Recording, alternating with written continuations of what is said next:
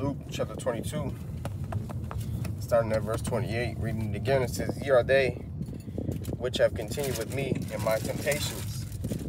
And I appoint unto you a kingdom as my Father hath appointed unto me, that ye may eat and drink at my table in my kingdom, and sit on thrones judging 12 tribes of Israel. Right? Because that's the reward for the elect. You know, the elect who have been enduring the sufferings of Yahweh Shemashai, they're going to be put in a position of rulership in the kingdom to come, judging the 12 tribes of Israel, man. Through the righteousness of Yahweh Shemashai. And like Yahweh said, ye are they which have continued with me in my temptations. So, just like how we go through temptations, Yahweh Shai was tempted as well. Okay? This is uh, Luke 22 and 31. And the Lord said, Simon, Simon, behold, Satan hath desired to have you, that he may sift you as wheat. But I have prayed for thee that thy faith fail not, and when thou art converted, strengthen thy brethren. So the point being what? Yahweh Shai praying for his elect, just like how he prayed for David, you know, that our faith doesn't fail.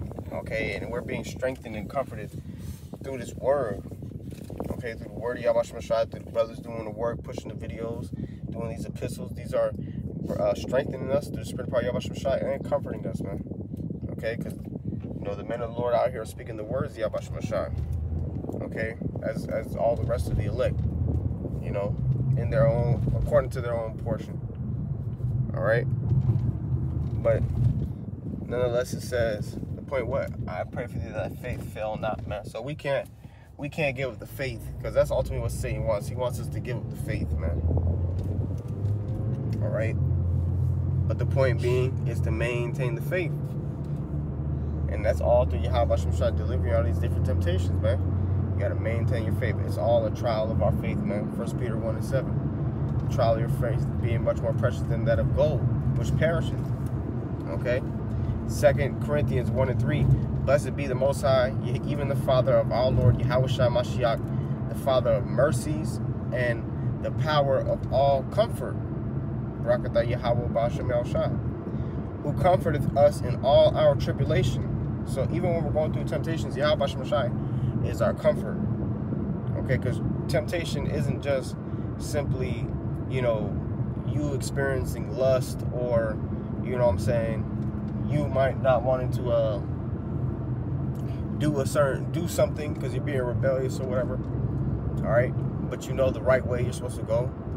Temptation is also like the different trials in your life that, that tries your faith, you know, because doubting is a temptation doubting is going off. So pretty much you got to maintain the faith. Satan wants you to doubt.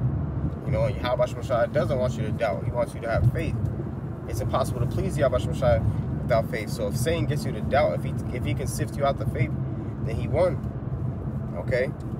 So that's why even when you're going through certain things where life suddenly hits you hard, you might your car might break down, you know, your woman might leave you, you might get sick randomly, you know, whatever. You might not have any money you know, you still have to have, maintain faith in those situations as well, because those are temptations as well, man. Okay? So, like I said, who comfort us in all our tribulations. So, everything that we go through, Yahweh Shai comforts us. That's why it says in Sirach, the second chapter, My son, if thou comest to the Lord, prepare thyself for temptation. Set thy heart aright and constantly endure, and make not haste in time of trouble. Cleave unto him and depart not away, that thou mayest be increased to that last end. Whatsoever is brought upon thee, take cheerfully, man, and be patient with our change to a lower state for gold is in the fire, and acceptable men in the furnace of adversity. You know, to the spirit of power, Shai, roughly paraphrasing. Okay? So, the Wadi Yahweh Shai for these words, because these words is what guides us and comforts us, man. It gives us the wisdom, knowledge, understanding, and directs our path soberly, man. Okay? It's not our own wisdom, it's not our own might. It's Yahweh Shai giving us the ability to do these things. Okay? Read that again, 2 Corinthians 1 and 4 who comforteth us in all our tribulation, that we may be able to comfort them which are in any trouble. Right, like how I said when to Peter, when thou art converted, strengthen thy brethren. So sometimes you might catch hell or go through a certain temptation or trial because the Lord knows that you have stronger faith to go through it. Okay, and he under and the scriptures say the Lord doesn't tempt us above what we're able. So the Lord, you know, gives like people love to say, the Lord gives his toughest battles for his toughest soldiers. In a roundabout way, like that's what applies. The Lord knows you can conquer that. So by you experiencing that, you could teach another brother you know, for when it's his turn to go through it, man. Okay, just like how Yahushua set an example for us, how we ought to walk in the flesh. You know, we follow after his example, and us follow after his example is for those who follow behind us through Yahweh Shemashai's spirit within us, you know, and show them the example through the spirit. Okay? We're supposed to be ensamples to the flock, First Peter the fifth chapter.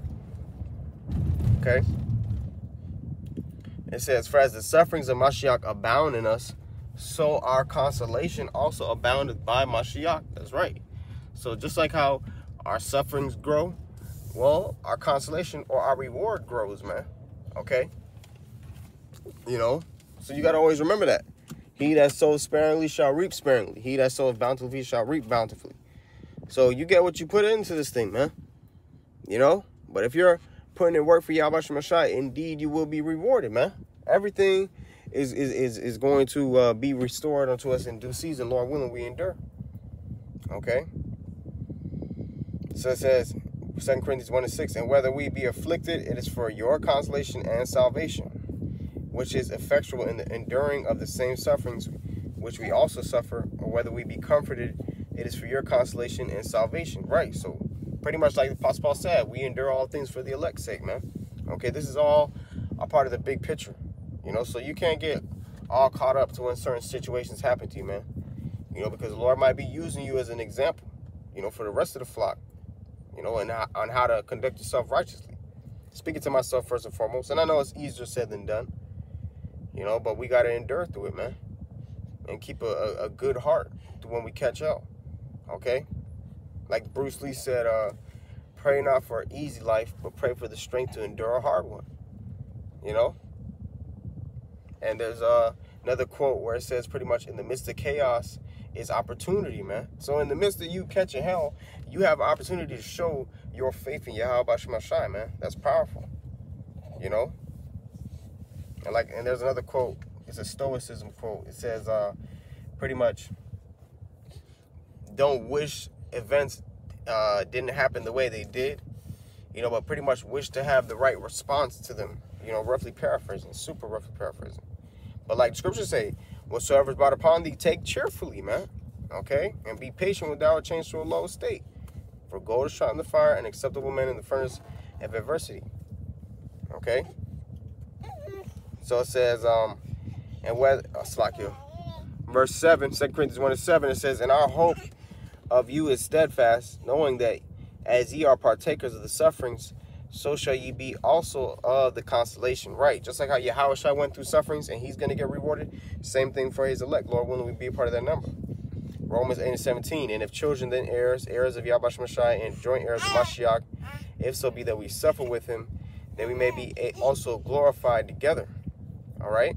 Yeah. So just like how we're suffering with Yahweh we're going to be glorified with him. The book of Sirach says, uh, be patient to thy neighbor, you know, when he's in poverty, you know, that that mayest rejoice with him in his riches, roughly paraphrasing.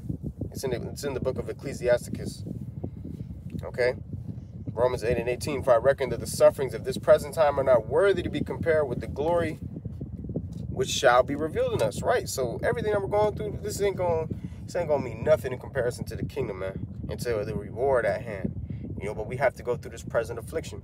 Like I said, Second Corinthians uh, chapter 4, verse 7. Let me get that, Lord willing.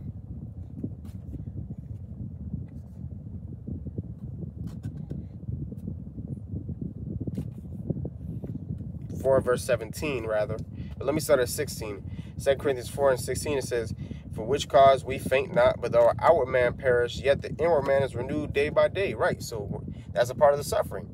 Our outward man, this flesh is breaking down, but our spirits are being built up daily, man. That's why we got to endure in this thing, because it's really, the how I said, the true worshiper shall worship Yahweh Shemashai in spirit and in truth. So if your spirit is being built up and you're following the ways of truth, then you're truly worshiping the Lord, man. And if you're truly worshiping the Lord, you will obtain his mercy. Okay?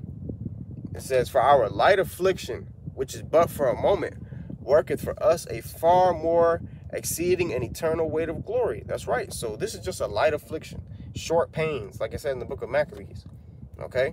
So we got to just endure through it. And I know in the moment, you know, when you're going through uh, adversity, you forget about prosperity, like it says in Sirach or Ecclesiasticus, you know. And when you're in prosperity, you forget about adversity. But we got to endure. Okay, give yourself a spiritual pep talk. Encourage yourself in the Lord. You know, like King David did, you know, with Jonathan. Okay. And also King David did, uh, you know, many times himself. He encouraged himself in the Lord. Okay. So this is just a light affliction, man. And we're really going to get a greater reward than the sufferings that we go through. Always remember that if you endure for the elect. Second Corinthians 4 and 18, it says, While we look at the things which are seen, but at the things which are not seen, for the things which are seen are temporal, but the things which are not seen are eternal, man. That's right. So this present world is going to pass away. Everything that we see, this world is going to pass away. But the spirit realm, what is not easily accessible with the naked eye, guess what, man? That's eternal, man. That's what we need to set our affections on. We need to set our affections on things above, man. Colossians, the third chapter. So, Lord, with this video is edifying. I'm going to give all praise, honor, and glory to Yahweh, Shemashah, Bashem, Dash, double honor to the apostle, the great Muslim, well. Peace, blessed to the elect of Israel. Shalom, and above all.